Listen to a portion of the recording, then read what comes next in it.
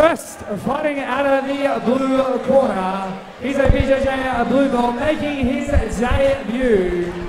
He weighed in at 78.8 kilograms, training at a Seldy's gym in Morley, Western Australia by way of Liberia. Ladies and gentlemen, George Kanu!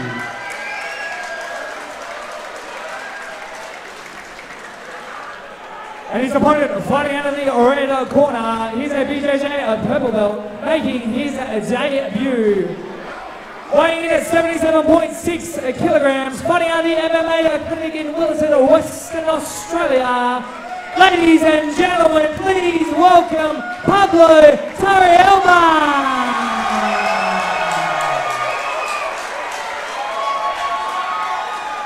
Your referee for this contest, Diogo Cassoni. Interesting matchup here, Jake.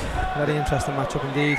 Very much so. We've got two jiu-jitsu stylists, which could be, end up in a kickboxing match. George Kanu in uh, Seldy's black pants and uh, Pablo Torrealba in uh, Beast Mode MMA clinic pants. Two fighters I know very well. Uh, I competed against George several times. Um, basically, and won one and lost one to him. He's still a blue belt now under brown, on brown belt Jamie Hunt, but don't let that fool you. He's well experienced in his grappling. I train with Pablo on a regular basis. He's very unorthodox, but he's very hardworking and he just does not stop.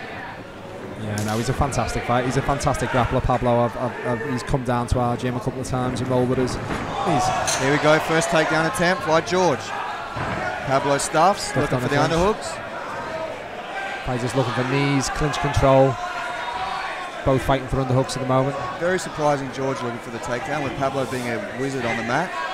George, George, George is explosive, especially at the start of fights. He comes out looking to surprise people and catch with quick submissions.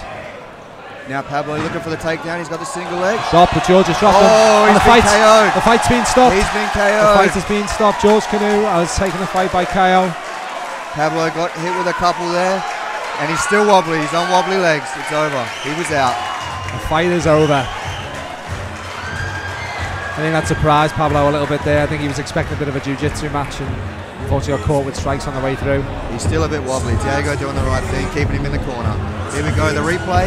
Let's see what it was. I think it was a right hand.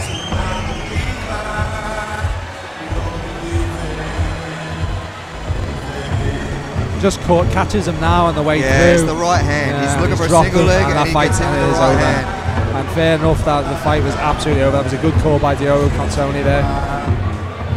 Pablo did go stiff for a second. A second shot's woken him back up, but he was definitely on wobbly legs. Good call. Big win. Big win for George in his debut. Referee Diogo Cassoni stops the action at one minute in the first round. For your winner by KO, the blue corner, George Kanu.